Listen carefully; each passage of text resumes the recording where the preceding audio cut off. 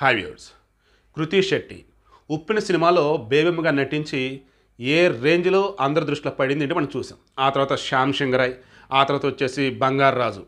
So వరుసబెట్టి హిట్లు hat trick అన్నట్టు. అయితే ఇక ఆ తర్వాత మొన్న వచ్చినటువంటి ది వారియర్ పోయింది. మాచరం నియోజకవర్గం అది పోయింది.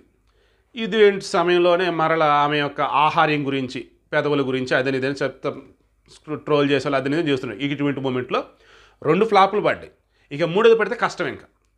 ఆల్రెడీ మూడు వరుస హిట్లు పడేసరికి రెమ్యునరేషన్ కూడా బాగా పెంచిందట. అయినా సరే తీసుకున్నారు. ఎందుకు?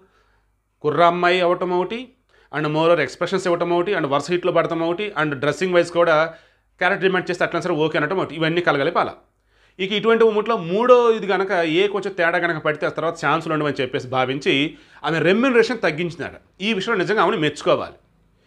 దీపం ఉండగా ఇల్లు చక్కబెట్టుకోవాలి అంటూ ఉంటారు. ఈ వేలో మూడు హిట్లు పడగానే చక్కబెట్టుకుంది బట్ రెండు ఫ్లాపులు పడి మరి ఇటువంటి మూమెంట్లు ఏం చేయాలా? కూల్గా లేదు నేను కొంచెం రెమ్యునేషన్ తగ్గించుకుంటాను ఏం పర్లేదు అని అంది. ఇక దానితో హా పర్లేదు మన సినిమాలు హిట్ అయ్యేది దేని మీద బేసేసుకుని content story hero director heroine వచ్చేసి ఏంటంటే స్పెషల్ అట్రాక్షన్ అన్నవేలో కాబట్టి రెమ్యునేషన్ కూడా తగ్గించుతుంది కాబట్టి ఈవెన్ మరలా బుక్ చేద్దామని సినిమాలకు అన్నవేలో మరలా ఆఫర్స్ రావడం రెడీ అవుతుందట సో చాలా తెలివిగా ఆలోచిస్తూ ఉంది. మరి వాళ్ళ మేనేజర్ చెప్పారు వాళ్ళ ఇంట్లో వాళ్ళు చెప్పారు లేకపోతే ఏమనుకుందో తెలియదు కానీ మొత్తానికైతే కృతి శెట్టి గతంలో కన్నా రమేష్ కొంచెం తగ్గించుందని చెప్పేసి వార్త అయితే వస్తూ ఉన్నాయి.